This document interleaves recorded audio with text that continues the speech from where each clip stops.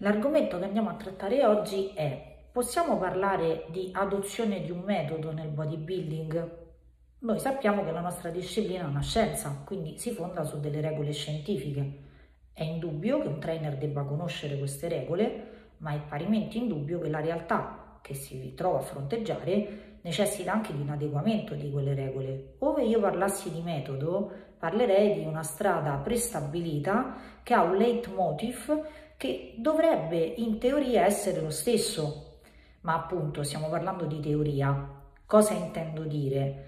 Che sicuramente la lacuna più grande che incontriamo nel nostro sport è la bipartizione tra il mondo teorico, quindi di chi adotta una strategia prestabilita per tutti, uomini, donne e vari somatotipi, e contemporaneamente di chi invece si fonda esclusivamente sulla pratica senza conoscere la teoria. Delle due l'una.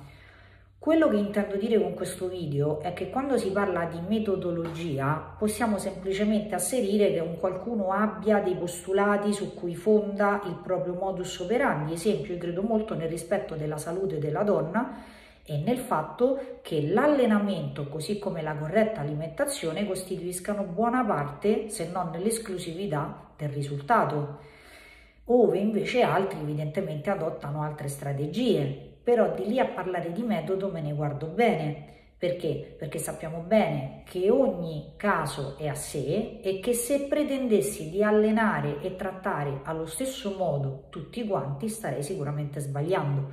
Ricordiamoci che le regole esistono, ma bisogna sapere quando e come adattarle. Quindi metodo, metodologia, protocollo sono dei termini che sarebbe meglio non sentire. Un saluto.